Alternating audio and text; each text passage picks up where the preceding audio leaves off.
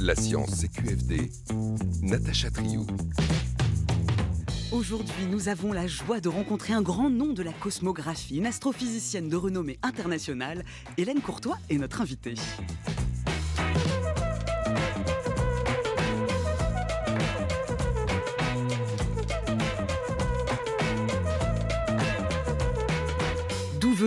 Où sommes-nous Où allons-nous? C'est pour répondre à ces questions que depuis plus de 30 ans, cette exploratrice du cosmos sonde les confins de l'univers et cartographie ses grandes structures. Après avoir fait une découverte majeure, celle de l'Aniakea, le super amas de galaxies dans lequel se situe notre Voie lactée, elle est désormais impliquée dans la mission Euclide, une mission européenne hors norme. Avec elle, on suit la piste de la matière noire et de l'énergie sombre.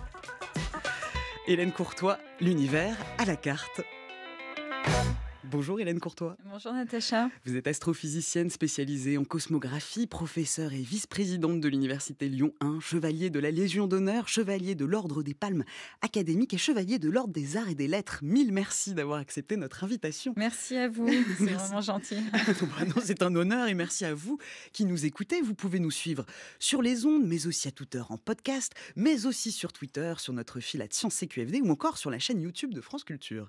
Alors quelles ont été les grandes étapes de votre carrière. Comment l'architecture cosmique peut-elle nous éclairer sur l'énergie noire et la matière noire? Et quel est votre rôle sur l'émission Euclide? Nous sommes ensemble jusqu'à 17h pour répondre à ces questions. Mais d'abord, profession cosmologue, qu'est-ce que c'est? On commence avec euh, cette émission hein, sous les auspices d'un pionnier. On commence avec Georges Lemaître. C'est notre archive du jour de 1950. Elle grésille un peu, alors tendez l'oreille.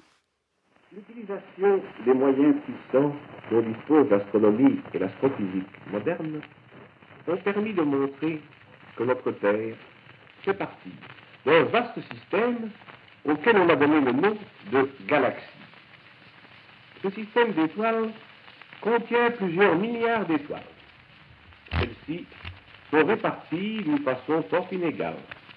On en compte dix fois plus environ au voisinage d'un plan appelé plan galactique. La position de ce plan coïncide, et c'est de là que lui vient son nom, avec le plan marqué dans le ciel par la Voie lactée. Cette dernière semble être formée de nuées gazeuses proprement dites, ou comme on dit, de nébuleuses diffuses. Il y a aussi, surtout dans la région la plus dense ou centre de la galaxie, une accumulation de nuées obscures ou trous noirs dans le ciel où les étoiles ne peuvent être aperçues. L'observation des vitesses des étoiles formant la galaxie a permis de montrer que ce système d'étoiles est animé d'un mouvement de rotation autour du centre de la galaxie. Cette rotation s'effectue avec une vitesse de 300 km par seconde environ. Dans les régions les plus extérieures de la galaxie se trouvent des amas globulaires formés de milliers d'étoiles. Ces amas globulaires ne participent pas à la rotation d'ensemble de la galaxie. On y a observé des étoiles céphéides et on a donc pu en déterminer la distance. On peut ainsi estimer le diamètre de la galaxie à 100 000 années de lumière environ. Voilà la voix de l'abbé Lemaître sur la radio nationale belge en 1950. Hélène Courtois, comment ça vous fait réagir cette description de notre voisinage de la Voie lactée? Sincèrement, c'est vraiment impressionnant. ça me donne quasiment la chair de poule. Parce que vous avez dit que c'était quelle année ça? 1950. 1950, c'est vraiment impressionnant. Ils avaient déjà mesuré euh, beaucoup de choses. C'est presque tout juste ce qui a été dit, c'est-à-dire que en science, euh, c'est juste un instant T ce qu'on fait, surtout quand c'est de l'observationnel. Et après, bah, en fait, on raffine la connaissance. Donc la connaissance est toujours en train d'être modelée. Donc parfois, on dit quelque chose de juste maintenant, mais dans cinq ans, c'est pas que ce sera faux, mais ça aura changé un petit peu. Et là, il a dit énormément de choses. Par exemple, quand il a dit que ça tournait à 300 km par seconde, on sait que c'est vraiment pas loin de, de ce qu'on mesure aujourd'hui avec des télescopes tellement plus puissants que ceux euh, auxquels il avait accès.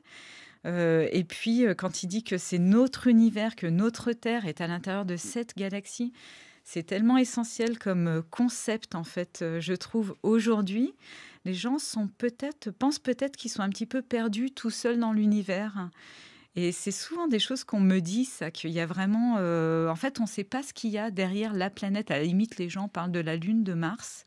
mais n'ont pas une image, en fait, n'ont pas une conceptualisation dans leur, dans leur esprit de à quoi ressemble l'univers et où on est. Alors vous avez dit euh, vraiment ces questions euh, d'où on vient, où on est et où on va, qui sont les bases, de, les piliers de mon travail. Mais là, euh, Georges Lemaître a situé la Terre, en fait, notre berceau, à l'intérieur de la galaxie. Donc c'était vraiment impressionnant, c'est 1950. Je ne sais pas si c'est acquis, en fait. Donc ça fait 73 ans, là. Euh, est-ce que c'est acquis Ce savoir qui vient d'être diffusé, ces quelques minutes, est-ce que tous les enfants l'ont dans leur tête? Est-ce que tous les adultes l'ont dans leur tête? En tout cas, historiquement, euh, on peut replacer ça aussi dans son contexte. La découverte des galaxies, c'est quelque chose de très récent. Ça, remonte euh, aux années 20. Oui, oui, oui, tout à fait. Hein. On sait que Einstein, par exemple, quand il a développé sa théorie de la relativité générale, qui est notre base de travail sur la gravitation, dont on parlera un petit peu plus tard, euh, en fait, ne savait pas qu'il habitait dans une galaxie. Donc euh, c'est quand même euh, impressionnant. D'ailleurs, on parlera de, l'énergie sombre, qui est la source d'énergie qui, accélère l'expansion de, de, cette trame d'espace-temps. Et pour lui, c'était inconcevable que l'univers soit en mouvement. Donc pour lui, l'univers, c'était quelque chose de statique.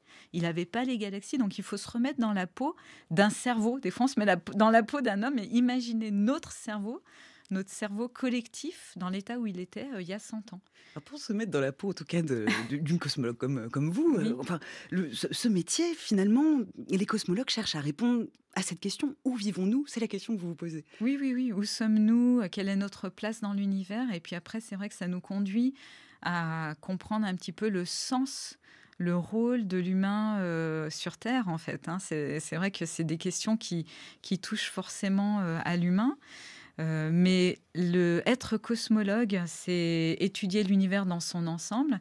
Être cosmographe, comme euh, ce que je suis, c'est comme un géographe qui fait euh, des cartes de la Terre, géo, et moi je fais des cartes de l'univers, du cosmos. Donc je suis cosmographe.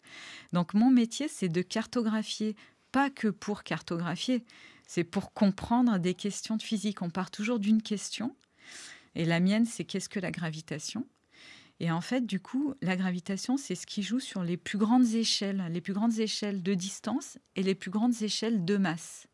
Du coup, eh ben, qu'est-ce que je dois utiliser? C'est les galaxies et faire des cartes les plus grandes possibles pour voir les interactions entre les masses à grande échelle. Et il n'y a pas que les galaxies, apparemment. Dans cette cartographie, euh, notre vision de la Voie lactée et de son, voisinage a été bousculée, changée grâce à vos travaux en 2014. Vous avez fait donc cette euh, découverte importante avec votre équipe. Notre galaxie fait partie d'un ensemble très grand qu'on appelle un super amas de galaxies, baptisé l'Aniakea. Avant de le décrire déjà, qu'est-ce qu'un amas de galaxies, un super amas de galaxies? Oui, alors très bien. Justement, si on parle de Georges Lemaître, il nous a expliqué qu'il y avait euh, une planète qui tournait autour d'une étoile, qui avait par exemple 100 milliards de 100 milliards d'étoiles, ça faisait une galaxie, donc la Voie lactée. Et en fait, une galaxie, ça vit pas tout seul dans l'univers. Ça vit euh, dans des petits villages ou dans des grandes villes. Donc les petits villages, c'est comme nous. La Voie lactée, Andromède, Centaurus A, on est quelques grosses galaxies. Et puis on a une soixantaine euh, de petites galaxies autour de nous. Nous, on vit dans un village. Mais juste à côté de nous, il y a une grosse ville qui s'appelle l'amas de la Vierge, l'amas Virgo. Et ça, c'est un amas de galaxies. Et c'est tellement différent. C'est comme si vous prenez la différence entre un village des Alpes d'où je viens et puis Paris. c'est ça, un amas de galaxies, c'est Paris, c'est-à-dire qu'il y a des embouteillages, il y a des collisions, il y a beaucoup de grosses galaxies. Et après, qu'est-ce qu'un super amas? Eh bien, en fait, là, c'est au niveau d'un continent.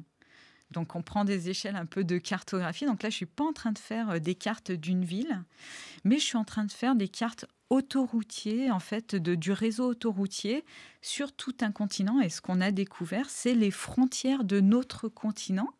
Et ça, c'est les plus grandes structures qui se sont formées dans l'univers, hein, depuis le début de l'univers, sous euh, ces deux effets contraires qui sont la gravitation, qui ramène les choses ensemble, et puis l'expansion qui a tendance à dissiper les choses. Mais il y a, un juste milieu qui forme les superamas. Donc, c'est les plus grandes structures formés dans l'univers. Et là, par contre, on est à l'échelle du million de galaxies. Dans notre super amas, la Niakea, il y a plutôt de l'ordre d'un million de galaxies. Dans un amas, il y en a mille, à peu près 1000, 2000. Dans un village, il y en a 100. Euh, Donc le village, on appelle ça un groupe un groupe, une association de galaxies. Donc il y a un petit peu une hiérarchie comme ça de trois, trois poupées russes, les villages, donc les groupes, les amas et les super amas. L'Aniakea, quelle est sa taille à peu près? Alors l'Aniakea fait euh, à peu près, euh, donc moi cette cartographie que j'avais faite à cette époque-là faisait 500 millions d'années-lumière de euh, côté, de distance. Donc ça veut dire que si on communique ben, à la vitesse de la lumière ou si on se déplace à la vitesse de la lumière, on mettrait 500 millions d'années pour parcourir. Donc, si on envoie un message, par exemple un morse avec une lampe de poche, euh, en fait, la lumière va mettre 500 millions d'années. Donc, nos cousins qui sont dans une galaxie de l'autre côté de la carte vont nous répondre 500 millions d'années après.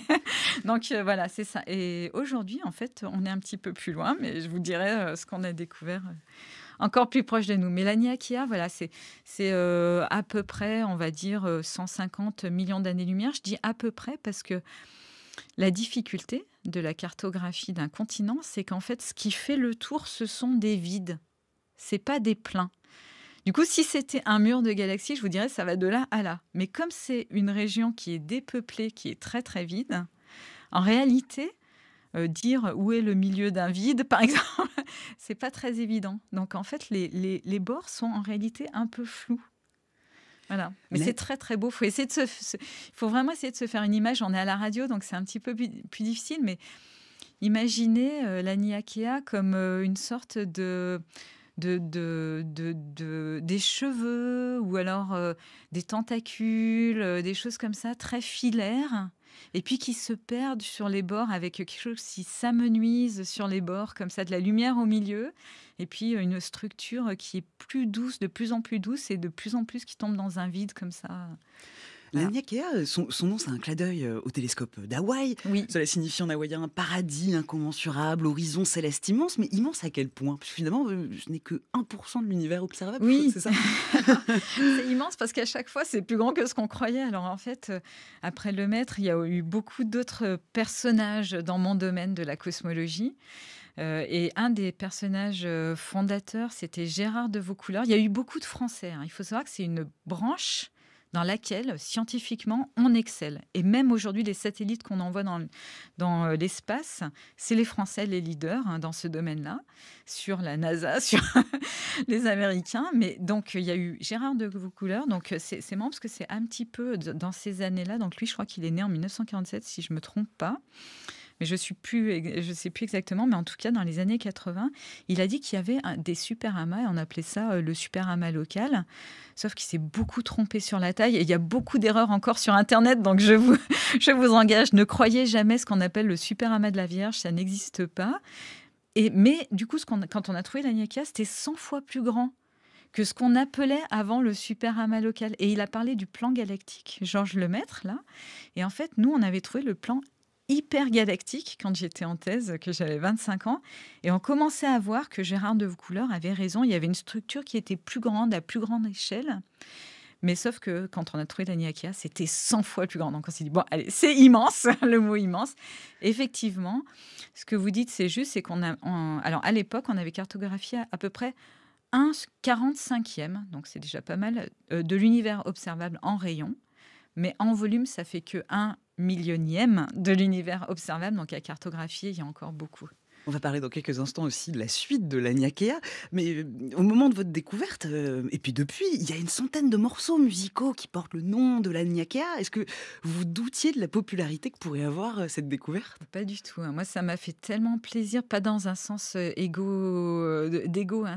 c'est dans le sens que, que je me rends compte que moi, ça me passionne, ça me touche, à la fois la beauté de la physique, la beauté de l'univers, mais finalement, ça touche et ça passionne énormément de gens. Il y a, je crois, euh, donc on a fait une vidéo avec euh, le magazine Nature euh, qui, qui, a, publié ça. Et en fait, la vidéo est devenue la numéro un, mais je crois en trois semaines, la numéro un de toutes les vidéos scientifiques jamais regardées.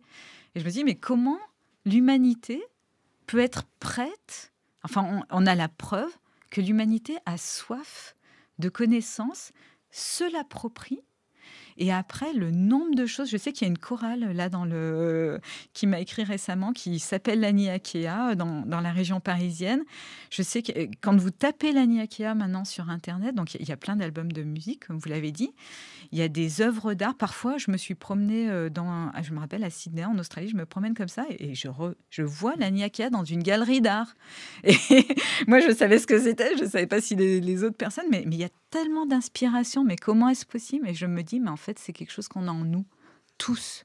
On a une soif d'être une partie du cosmos. On a ce lien, on sait qu'on vient de là. Et c'est vraiment ancré, je pense, très très fort. On a fait l'expérience cet été, on peut le dire, on était sur le, un même festival d'astronomie ensemble. Et on a fait une randonnée en, en Corse, un très beau festival littéraire. Et on a fait une randonnée astronomique nocturne.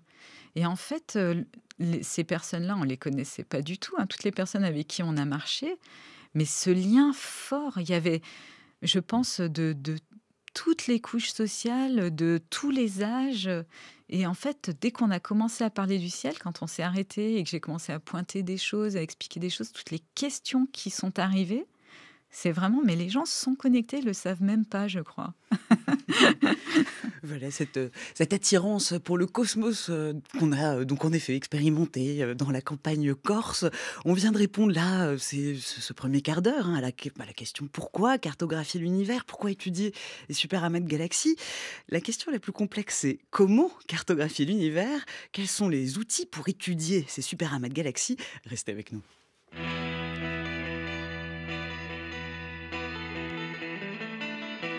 France Culture, la science CQFD, Natacha Trio.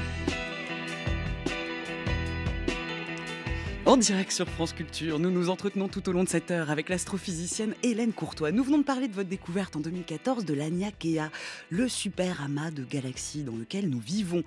Pour comprendre comment vous avez fait cette découverte, il faut revenir un peu en arrière. Je vous propose un extrait de votre livre Voyage sur les flots de galaxies aux éditions Duno, prix du livre d'astronomie ciel et espace en 2017.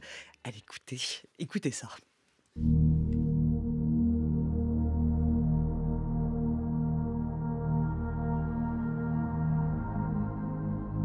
1992, je suis arrivée à l'Observatoire de Lyon à 22 ans, comme stagiaire en fin de DEA, l'équivalent de l'actuel master, dans l'équipe de Georges Paturel.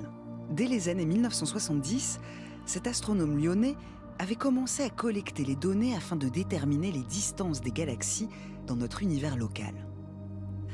La découverte de ces nouveaux mondes extragalactiques m'enchante immédiatement je dévore frénétiquement les articles scientifiques qui traitent des grandes structures de l'univers local. Et au gré de mes lectures, je suis transporté hors de la Voie lactée. Je visualise ce tout petit coin d'univers auquel les cosmologues ont désormais donné le nom de groupe local, où notre galaxie et ses deux plus proches voisines, la galaxie d'Andromède et la galaxie du Triangle, évoluent avec leur cortège de galaxies naines satellites, telles des reines gracieuses entourées par une cour frétillante. D'ailleurs, je vois Andromède qui se rapproche dangereusement de nous. Les galaxies naines satellites me font tourner la tête tant elles semblent orbiter autour de la Voie lactée, un peu comme les planètes autour d'une étoile. Déjà, je m'éloigne du groupe local et me voilà au bord du très grand vide local. Par la pensée, je vole à une vitesse proche de celle de la lumière. Même en allant si vite, le voyage risque d'être bien long. J'ai déjà parcouru 50 millions d'années-lumière quand je reste médusé devant un spectacle grandiose. Plus de 1000 grandes galaxies se pressent et donnent à cette région du ciel comme des allures de périphériques saturés aux heures de pointe. Je suis dans l'amas de la Vierge, bien plus imposant que notre petit groupe local et ses trois reines. Je prends encore du recul et j'aperçois quelques galaxies isolées, des galaxies de champs qui empruntent ces routes reliant les amas comme je pourrais voir la nuit les phares des voitures sur les autoroutes reliant les quartiers d'une immense métropole. On entend bien dans cet extrait votre joie de cosmographe, Hélène Courtois. On entend, hein, vous êtes stagiaire en fin de DEA à l'Observatoire de Lyon à 22 ans. Votre thèse va porter sur le grand attracteur. Pour comprendre ce que c'est le grand attracteur, il faut déjà parler du travail des cosmologues américains, les sept samouraïs. Alors en fait, c'était des gens qui euh, ont proposé de, découpler certains mouvements. Donc euh, on a dit que euh, Einstein, le maître, découvrait un petit peu que tout bouge dans l'univers, mais à très très grande échelle. Et les sept samouraïs ont commencé à dire on va pouvoir mesurer les mouvements dus à la gravitation, les mouvements des galaxies qui sont dus à la gravitation, donc pas l'expansion de l'univers euh, dont parlait le maître, en fait, ou Hubble, ces mouvements-là qui sont beaucoup plus petits. Donc, notre galaxie se déplace à 630 km par seconde. Alors, j'aime beaucoup dire en kilomètres heure plutôt parce que ça parle plus aux gens. On va à, deux, à 200 millions, pardon, à 2 millions de kilomètres heure. Donc là, en une heure d'émission, on aura fait 2 millions de kilomètres dans la galaxie.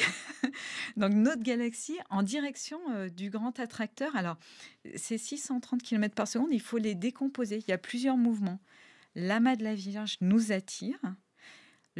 On va avec l'amas de la Vierge en direction du grand attracteur. Et puis après, le grand attracteur bouge encore un petit peu. Donc c'est une décomposition des mouvements.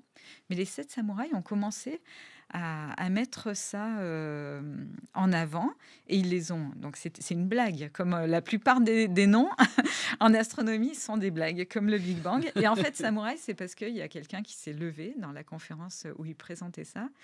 Et euh, c'est un monsieur, un vieux monsieur qui n'existe plus, mais qui, leur a, qui les a un petit peu menacés, comme ça se fait dans nos métiers en leur disant vous êtes en train de s'aborder votre carrière, vous vous faites harakiri euh, scientifiquement, donc vous êtes des samouraïs, parce que jamais on pourra mesurer euh, les mouvements gravitationnels des galaxies. Donc quand quelqu'un vous dit jamais, déjà c'est un conseil à tout le monde.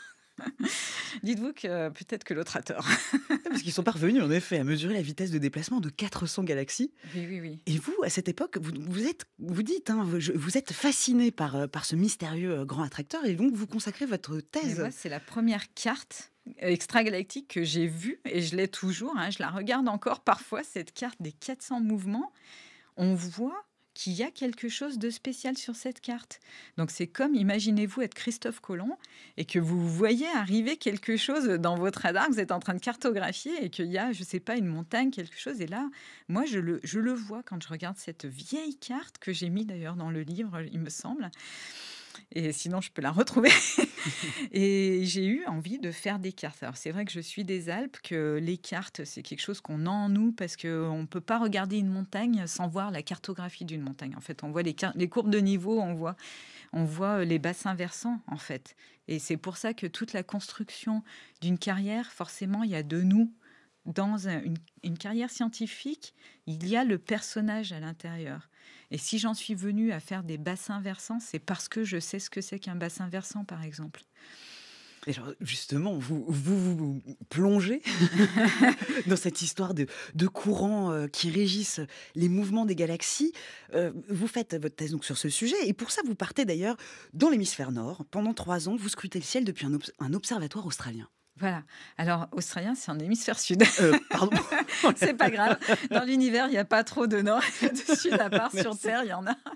Mais euh, c'est pas grave, je le fais tout le temps. Donc, vous inquiétez pas. Donc, euh, effectivement, depuis le nord, ce qui m'est apparu, et ce que je ne savais pas quand j'avais 22 ans, c'est que on peut cartographier que ce qui est au-dessus de nous avec les télescopes. Donc, dans l'hémisphère nord, je peux cartographier la moitié de l'univers, mais le grand attracteur n'est visible que dans le sud.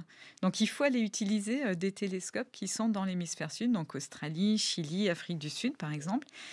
Et donc, c'est comme ça que j'ai trouvé euh, mon directeur de thèse, par exemple. Donc, il faut, il faut, il faut voir euh, comme j'étais têtue à 22 ans parce que je suis tombée en amour avec le grand attracteur. Hein. C'est quasiment, donc c'est pas l'homme ou la femme de ma vie parce que j'en ai un autre, mais, mais le grand attracteur, ça a été, je me suis dit, je vais comprendre ce que c'est. Et j'ai convaincu un astronome à l'Observatoire de Lyon, Georges Paturel. Je lui ai dit, je veux faire une thèse sur ça. Et il me fallait un autre directeur de thèse en Australie. Et j'ai trouvé euh, Warwick Couch de l'Université de New South Wales à Sydney, qui m'a dit, bah, d'accord, Hélène, tu viens en Australie, tu vas utiliser nos télescopes. Et euh, j'ai pu cartographier, donc à la fin de ma thèse, je crois que j'avais à peu près 1800 galaxies par rapport aux 400 galaxies euh, des sept samouraïs. Et j'ai pu bien avancer sur, euh, sur le grand attracteur, mais il m'en manquait encore beaucoup pour euh, finir, terminer cette question scientifique. En 99, vous faites euh, face à une impasse technologique. Les télescopes ne sont pas assez puissants. Comment vous parvenez justement Catastrophe. Catastrophe, hein, parce que c'est ça la vie d'un scientifique, c'est que parfois on arrive au bout de nos machines, en fait au bout de la technologie. Et du coup, il faut inventer la technologie qui nous permet d'aller plus loin. Donc c'est comme quand on invente un microscope qui va utiliser un laser, les où il faut inventer. Donc là, il fallait une nouvelle technologie de télescope parce que pour bien comprendre le grand attracteur, je l'avais atteint dans la cartographie. Mais en fait, si j'avais pas l'arrière, c'est comme s'il nous manque l'arrière d'une montagne ou qu'est-ce qu'il y a derrière. J'avais pas, je pouvais pas comprendre sa taille complètement puisqu'il m'en manquait un grand bout et il fallait que je vois les galaxies bien en arrière du grand attracteur, qui elle aussi était attirée, donc tombait vers le grand attracteur, mais derrière, pour que je puisse mesurer euh, sa masse, sa portée. Donc euh, là, euh, pendant pas mal d'années, ça a été un petit peu un désert au niveau technologique parce qu'il y avait des, des, nouvelles technologies qui arrivaient. Donc par exemple les multifilms. Donc j'ai travaillé euh, plus dans l'ingénierie finalement, alors que moi je suis vraiment une expérimentaliste qui utilise des instruments. Normalement, je ne développe pas d'instruments, c'est pas ma, ma spécialité, c'est pas là où je suis le, plus fort. Moi, je suis le plus fort dans vraiment dans l'analyse des données qui sont prises avec les instruments. Et là, on a développé des technologies multifies pour pouvoir euh, observer plus de galaxies ensemble, des technologies multi-antennes, des plus grands radiotélescopes. Et pendant ce temps-là, ce que j'ai beaucoup fait aussi, c'est que j'ai amélioré euh, les simulations numériques. Et puis j'ai travaillé sur euh, des objets qui étaient plus brillants, plus faciles à atteindre, qu'on appelle les supernovas. Et euh, on a eu la découverte de l'accélération de l'expansion de l'univers dans ces années, donc fin des années 90, tout le début des années 2000 il y a beaucoup de gens, pendant qu'on fait, parce que monter un télescope, ça prend 10 ans. J'ai une nouvelle expérience là de Euclide où ça prend 10-12 ans. Et donc pendant 10 ans, on fait pas rien. Hein. pendant 10 ans, on utilise d'autres euh, sondes, on appelle ça, d'autres sondes de l'univers, donc par exemple les supernovas, ou alors on utilise, euh, on fait de l'analyse des théories, on fait avancer des théories pendant ce temps-là, qu'on pourra ensuite confronter aux nouvelles données qui vont arriver. Donc on n'est jamais à court de travail et on développe, en plus c'est comme un, sportif qui fait euh, de, de, je ne sais pas comment ça s'appelle, mais qui fait des entraînements à côté ce qui nous permet en fait d'être plus fort après dans notre sport principal. Et puis dans votre sport principal, il a fallu aussi développer la coopération internationale pour justement récolter les données de tous les télescopes du monde. Là, on est dans les années 2006 et c'est d'ailleurs dans cette optique que vous créez le, groupe de recherche Cosmic Flow et qui va être déterminant pour la, pour la découverte de, de l'ANIACEA. Voilà, alors c'est aussi euh, cette percée-là qu'on a fait euh, qui était que les sept samouraïs, ils pouvaient pas être, c'était sept euh, américains hein, finalement, il n'y avait pas beaucoup de collaboration avec l'Europe. Euh, nous, on avait une équipe donc euh, lyonnaise et parisienne avec deux astrophysiciennes euh, de Paris, Lucienne et Lucette, on les appelait les Lulu, donc Bottinelli et Guggenheim. Euh, comme je vous disais, c'est vraiment euh, la cosmographie, c'est vraiment un truc, euh, la cosmologie, c'est vraiment un truc où on excelle en France. Et en fait, ces petites équipes nationales, ça n'allait pas très très bien, ça n'allait, on n'utilisait pas ces télescopes. Et dans ces années-là, quand j'ai monté le, donc je suis allée aux États-Unis sur l'invitation de Brent Tully à Hawaï, à l'université d'Hawaï pour pouvoir utiliser leur télescope là-bas dans l'hémisphère nord. Euh, ils m'ont donné accès à d'autres télescopes américains euh, en Virginie occidentale. J'avais mes collaborateurs en Australie, j'avais des collaborateurs en Russie, et on a commencé à faire une équipe international, ce qui nous a permis de travailler sur plein de fuseaux horaires en même temps, parce qu'il fait toujours nuit quelque part. Donc c'est toujours un bon temps d'observer quelque part. Donc euh, si par exemple maintenant je voulais observer, en fait il suffit que je me connecte sur un télescope euh, qui est dans un fuseau horaire de nuit. Alors ça devient assez fou, hein, parce qu'on peut observer pendant 24 heures comme ça et jamais aller se coucher. Mais donc là, on a monté un petit groupe qui était à géométrie variable aussi, c'est-à-dire que parfois on était euh, jusqu'à 5, parfois on était 40, euh, voilà, et, ça, ça a vraiment très très bien fonctionné. Et puis euh, depuis en gros 2012, je suis montée encore, on a encore changé la, sociologie en fait de, de l'astrophysique, et là on vit une expérience actuellement de sociologie de l'astrophysique. On vit une expérience où on est 1500, ce qui est jamais arrivé dans l'histoire de l'humanité en fait. Ça, on va en parler en effet de, de, ce, projet hors norme euh, Euclide, mais pour, euh, pour conclure euh, sur l'Agnaquea, hein, vous, vous mettez donc en évidence en 2014 hein, que voilà, l'Agnaquea, c'est aussi, voilà, le, vous comprenez aussi que le grand attracteur est le vallon central vers lequel s'écoulent gravitationnellement cinq rivières de matière. Et aujourd'hui encore, vous continuez de faire des découvertes, justement avec un papier qui n'est pas encore paru, mais qui ne va pas tarder à, être publié, c'est ça? Tout à fait. Alors euh, hier soir, j'étais euh, vraiment très heureuse au cours du festival Atmosphère à Courbevoie de pouvoir euh, révéler au grand public des, une nouvelle cartographie, alors qui fait maintenant un milliard d'années-lumière de côté. Et on a cartographié les cinq super amas voisins de l'Aniakia. Parce que notre but, puisque notre question là, c'est la gravitation, c'est est-ce que. Euh, donc, on a changé de, conceptualisation de l'univers en 2014, mais quand on a observé un objet comme ça, la question c'est est-ce qu'il y en a d'autres est-ce qu'ils sont d'une même taille ou est-ce qu'il y a des petits superamas, des très grands superamas? Est-ce qu'ils ont des rivières gravitationnelles vers un grand attracteur? Est-ce que c'est toujours le même schéma? Et en fait, la réponse, c'est oui. Et euh, donc, on l'a vu depuis hier soir, parce que je, travaille avec un artiste, Benjamin euh, Le Talour, qui euh, reprend mes données, en fait, qui les rend moins arides et plus esthétiques. Et euh, donc, c'est des petites vidéos euh, que, j'ai relâchées euh, hier soir publiquement. Et je vous laisserai quelques, quelques images que vous pourrez mettre sur le site de, de France Culture, de l'émission tout à l'heure. Et en fait, l'univers est vraiment... Enfin, moi, je suis émerveillée à chaque fois. Et hier soir, on était dans une salle de 1000 personnes. Et les 1000, j'ai eu que des retours où c'était, mais qu'est-ce que c'est beau, quoi. Qu'est-ce que c'est beau, qu'est-ce que c'est grand. Puis c'est chez nous, tout ça. C'est vraiment un sentiment d'appartenance en fait. On est dans un cocon, on sait où on est. C'est très moi je trouve ça très réconfortant. Mais là, on va continuer à explorer l'inconnu avec la mission Euclide, ce programme révolutionnaire pour l'astronomie, dont l'objectif primaire est de déterminer pourquoi l'expansion de l'univers s'accélère. Restez avec nous.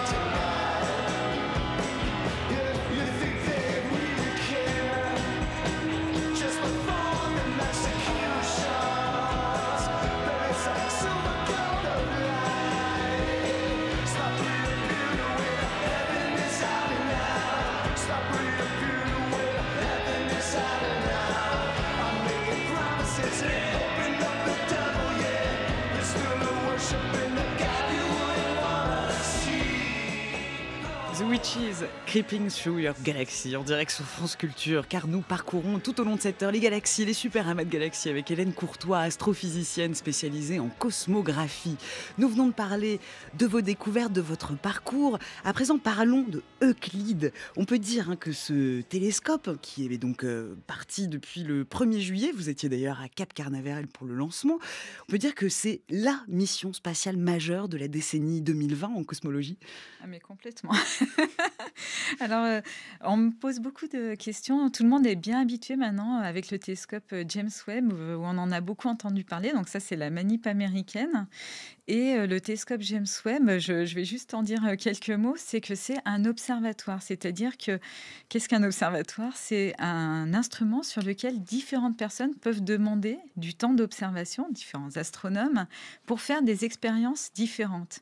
Alors que Euclide, c'est un télescope qui est un télescope d'héritage, ce qu'on appelle un télescope d'héritage. Donc, euh, je veux expliquer qu'on ne fait pas de demande de temps, tout est déjà défini. On sait ce qu'on va observer pendant six ans. Il, est parti dans l'espace, il a du fluide. Euh, toute la machinerie est faite pour fonctionner pendant six ans. Il n'y aura pas de rallonge comme Hubble, etc. Mais c'est toute la science qui va être faite, pardon, c'est de la science d'héritage pour l'humanité. C'est-à-dire qu'on a décidé d'avancer sur deux grandes questions d'héritage, des questions fondamentales, de physique fondamentale, pour essayer de comprendre la gravitation et l'accélération de, l'espace-temps. Donc on peut dire deux autres mots qui sont un petit peu équivalents, euh, que vous avez dit en début d'émission, qui sont qu'est-ce que la matière euh, noire et qu'est-ce que l'énergie sombre? Alors, comme je l'ai dit un petit moment, souvent il y a une petite blague. les astrophysiciens, il y a toujours un second degré dans les noms qu'on donne. et en fait, matière noire, euh, c'est une, une, mauvaise interprétation d'une petite blague qui a été faite au départ parce que on sait que c'est de la matière. Tout à l'heure, on parlait de ce que je fais. Moi, je, cartographie les déplacements des galaxies parce que c'est des très très grosses masses dans l'univers. Et quand on regarde ces déplacements, les galaxies vont trop vite. Notre galaxie, la Voie lactée, euh, se déplace, on a dit, à 2 millions de kilomètres heure. Ça va trop vite. Trop vite pourquoi? Trop vite comparé à quoi? Trop vite comparé à la masse que j'arrive à cartographier quand je compte les autres galaxies qui sont par exemple dans le grand attracteur, dans cette région du grand attracteur. Donc qu'est-ce que c'est? C'est un gros paquet de galaxies. Un gros paquet de galaxies, on y va tout droit. Nous, on l'atteindra jamais parce que cette cartographie est en expansion et on est sur le bord et on est à un endroit où l'expansion gagne parce que c'est une histoire de distance et de masse, la gravitation et l'expansion.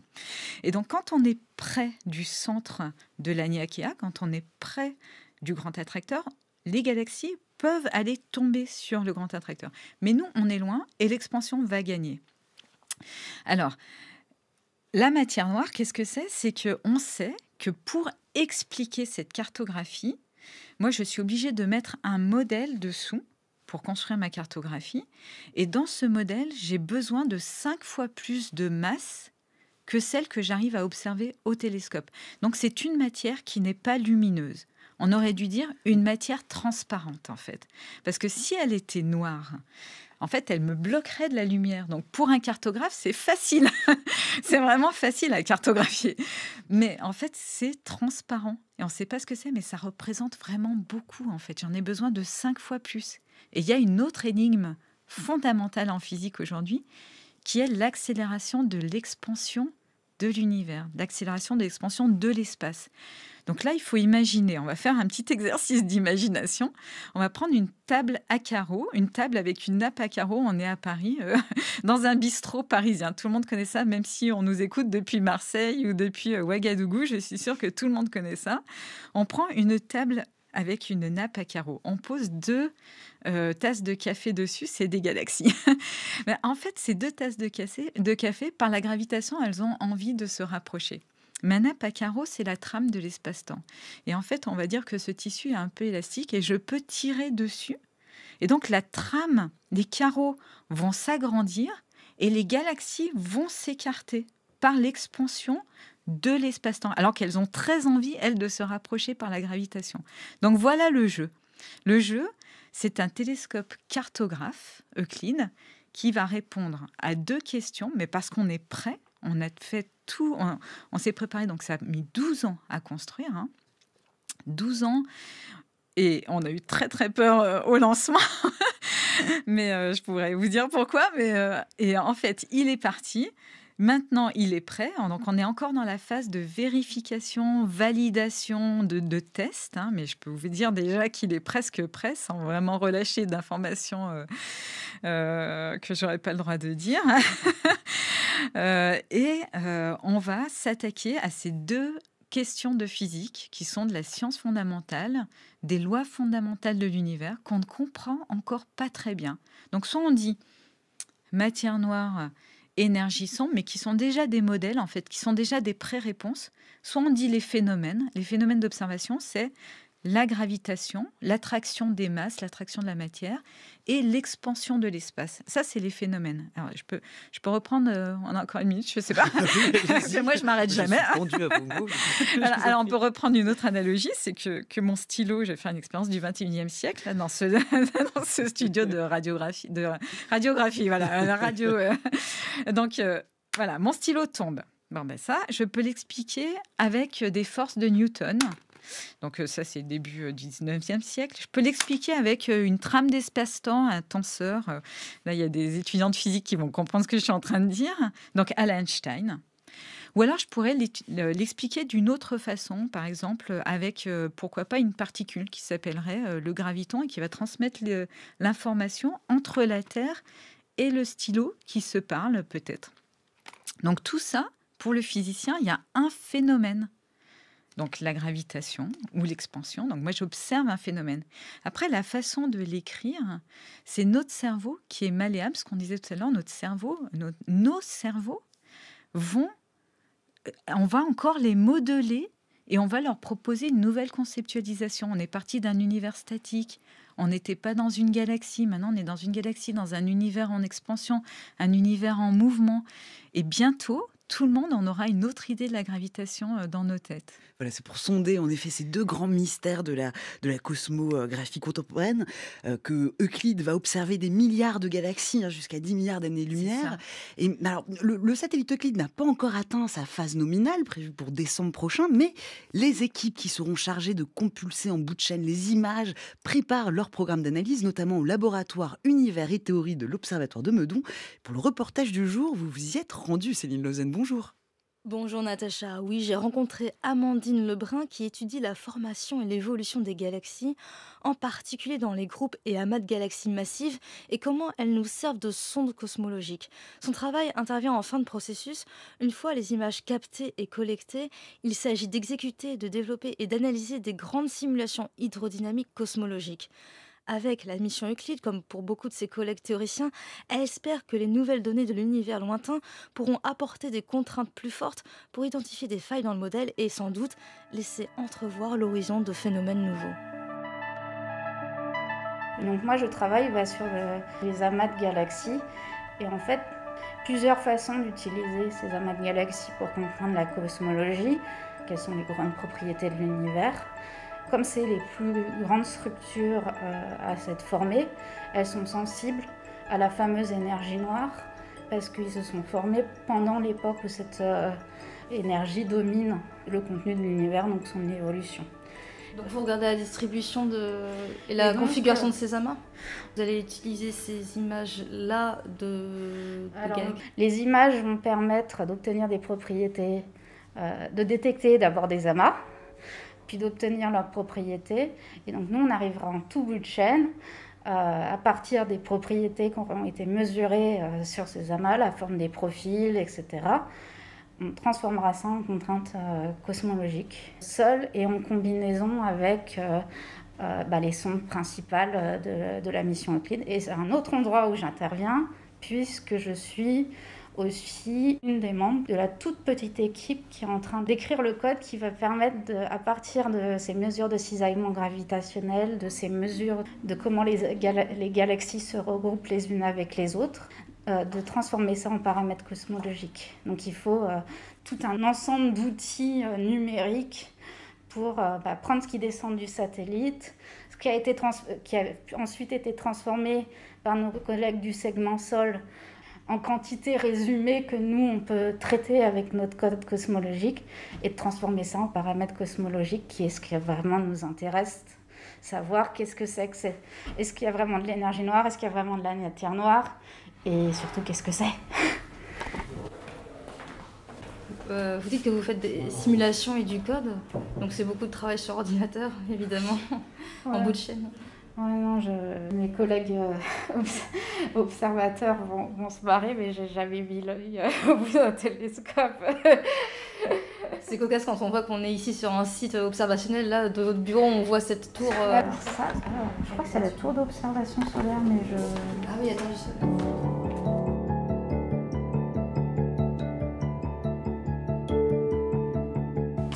moi, ce que je fais surtout, c'est de la simulation numérique. Donc, je crée des données synthétiques qui, si possible, se rapprochent le plus de ce que Euclide va observer.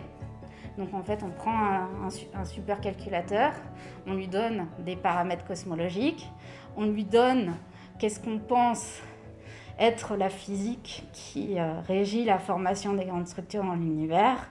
On envoie ça mouliner sur des dizaines de milliers de cœurs pendant euh, des millions d'heures. Et à la fin, on récupère euh, un catalogue de cisaillement gravitationnel, un catalogue de corrélation des galaxies, un catalogue de Badama. Et on mesure les propriétés euh, et on voit comment ça varie avec la cosmologie, la physique de formation des galaxies. Et moi, ce qui m'intéresse surtout, en fait, c'est les dégénérescences entre la, cosmologie et la formation des galaxies, parce que les deux sont interconnectés. Donc en fait, elles vont... Euh, jusqu'à présent, la formation des galaxies était considérée comme euh, une nuisance, c'est-à-dire quelque chose qui embêtait les cosmologistes, donc un des paramètres sur lesquels on marginalisait, c'est-à-dire qu'on prenait la moyenne des paramètres cosmologiques sur tout ce qui était vraisemblable en termes de physique de formation des galaxies. Mais avec Euclide, on va pouvoir euh, mesurer les deux c'est ça qui me tient éveillée la nuit, ou plutôt qui me permet de coder la nuit. ce que vous faites ici dans ce laboratoire au LUT, c'est vraiment ce dépouillement. Donc là, en ce moment, vous vous préparez, vous ah bah, codez. Les programmes n'existent pas encore, c'est ça? Donc ah, bah, Des premières versions existent euh, depuis euh, des années. En fait, les, les... Mais on part pas de zéro. Il a fallu que la théorie avance en même temps qu'on construisait le télescope pour pouvoir être prêt au moment où les données euh, euh, arriveraient. Donc bah, il fallait continuer à faire des avancées théoriques parce que Euclide euh, les données qui vont descendre d'Euclide vont être tellement précises qu'on était, on n'était pas outillé avec les outils qui ont été développés par les expériences précédentes. C'est un changement d'ordre de grandeur. Donc on n'était pas outillé, même au niveau théorique, avec des théories qui étaient au moins aussi précises que ce qu'on va mesurer. Et maintenant, euh, on commence progressivement à s'en rapprocher. Là, il vous reste deux, mois environ avant que la phase nominale ne démarre. De toute façon, euh, bah, on est aussi prêt qu'on puisse l'être. C'est peut-être pas autant qu'on l'aurait souhaité, mais euh, de toute façon, la mission, le temps de prendre toutes les données, ça va durer au moins six ans. Donc euh, progressivement, on va raffiner euh, comment on traite les données et puis aussi bah, peut-être que l'univers va nous réserver des surprises et que ce qu'on a préparé comme outil euh, pour traiter les données, on va se rendre compte qu'il bah, y a des choses auxquelles on n'avait pas pensé qu'il va falloir rajouter. Personnellement, j'espère que l'univers va nous réserver des surprises. Céline Lausanne pour ce reportage. Une réaction à ce qu'on vient d'entendre, Hélène Courtois? Bah, Déjà, je suis super contente qu'on ait entendu une autre femme astrophysicienne, si je peux me permettre, parce que j'ai rencontré des jeunes filles euh, cet après-midi dans le cadre euh, de la fête de la science. Et c'est des métiers euh, auxquels les jeunes filles ne pensent pas forcément. et puis au sein du, festival Atmosphère, on en reparlera tout à l'heure, mais euh, la marraine scientifique cette année, c'est une autre astrophysicienne, aussi cosmologue, Pauline Zarouk.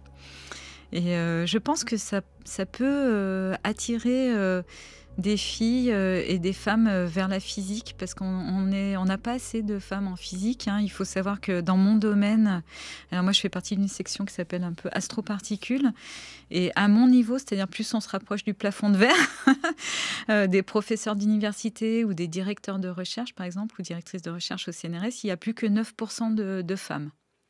Donc ça fait pas beaucoup, 1 sur 10. Donc je, suis toujours contente quand on met en lumière d'autres femmes. Euh, donc, je suis pas, on n'est pas de la même génération avec euh, Amandine euh, Lebrun. C'est la nouvelle génération montante. Je suis toujours heureuse d'entendre ça. Et puis, elle, redit des choses qu'on avait dit un petit peu, qu'on avance en même temps la théorie et les instruments, qu'on est obligé de se préparer avec des simulations numériques pour être prêt quand les données arrivent. Donc, vraiment, on est dans une course contre le temps en permanence. Et peut-être, j'aimerais dire quelque chose qui, peut sortir hors du contexte, mais on ne parle pas souvent du coût de la science fondamentale, on parle de ce que ça va faire à la société. C'est-à-dire que quand on découvre des phénomènes, après, on peut en faire... des, instruments, on peut développer bah, les, téléphones portables, etc. C'est issu de l'astronomie, assez bizarrement, mais oui. les fours à porte froide, c'est issu de l'astronomie. Il y a énormément de choses, ça passe directement dans le grand public toutes les découvertes qu'on fait technologiques quand on réalise nos instruments. Mais le coût d'un télescope spatial, par exemple, qui est vraiment un télescope d'héritage, euh, c'est 25 centimes d'euros par an et par européen. Donc sur 10 ans, pour comprendre la gravitation et l'expansion, pour comprendre la gravitation qui risque d'être une des forces motrices de peut-être nos futurs moteurs, en fait, euh, qui seront beaucoup moins énergivores si on utilise ça. C'est une force monstrueuse, hein, la gravitation. Euh, bah, sur 10 ans, ça coûte 2,50 euros à toutes les personnes qui nous écoutent, enfin tous les Européens, ça aura coûté 2,50 euros par Européen, donc le prix d'un café peut-être pour comprendre la gravitation, comme quand on a compris les électrons et qu'on a fait toute cette société basée sur l'électronique. Donc voilà, je, pense que c'est des réactions parce qu'on entend parler, là on a entendu parler des superordinateurs, on a entendu parler, et puis je pense qu'aujourd'hui euh, on, attaque beaucoup la science et qu'il est important de, rapporter euh, la parole vraie c'est-à-dire que si moi je vous dis que ça coûte ça, c'est que je me suis informée et que quelqu'un vient de me dire le contraire, il aura du mal. Et moi, je sais que je le, des fois, je le dis même dans mon, entourage, et on m'a déjà dit non, c'est pas vrai, tes, tes calculs sont faux, ça peut pas coûter 25 centimes par personne et par... Si, si, c'est ça. en tout cas, euh, merci de rappeler l'importance de, la recherche fondamentale et de leurs applications euh, pour le grand public eh également. On arrive à la toute fin de cette émission. Je voulais quand même vous, poser cette question, Hélène Courtois. On l'a entendu tout au long de cette heure. Hein. Vous êtes passionnée par votre métier. Vous comprenez, vous vous identifiez d'où ça vient, ça? Euh, moi, c'est de la curiosité. Je pense que la curiosité, on est tous curieux. Après, on la bride plus ou moins. Mais en fait, la curiosité, la passion, euh, l'envie de faire de l'art, l'envie de faire des maths, euh, tout ça, c'est vraiment un moteur qu'on a en soi. Et moi, j'adore écouter d'autres métiers. Je suis curieuse de tout. Des fois, je suis un peu insupportable parce que je pose des questions à tous les métiers que je vais rencontrer. Euh, ça m'intéresse à quelle heure un boulanger se lève, pourquoi sa levure elle va fonctionner ou pas. Euh, tout m'intéresse. Et je pense que si tout le monde était intéressé par tout le monde, déjà il y aurait beaucoup plus de respect d'emblée avec tous les métiers. Et euh, voilà, on est, mais même les respects des, des, autres formes vivantes, il faut respecter les plantes, les arbres, il faut respecter les chiens, il faut respecter les baleines. Voilà, donc tout ça, c'est si on est curieux de ce qui nous entoure, de l'environnement vivant ou pas vivant, ben, on est dans une posture en fait de respect euh, qui devrait être celle, euh, la, posture basique de tout le monde en fait. Et puis, aussi, euh, cette curiosité, euh, ça se sent aussi dans votre parcours, hein, que, que, vous aimez transmettre les savoirs euh, scientifiques. Vous avez d'ailleurs été récompensé du prix rayonnement scientifique français en 2018, prix Eureka pour vos actions d'enseignement de diffusion de connaissances, nominé récemment chevalier des arts et Et là, vous participez au festival Atmosphère, qui se déroule d'ailleurs jusqu'à dimanche à Courbevoie.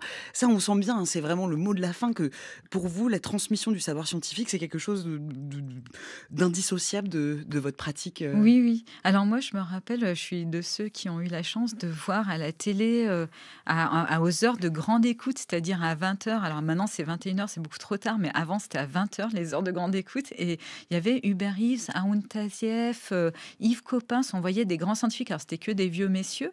Mais aujourd'hui, on pourrait avoir une, vision diversifiée de la science.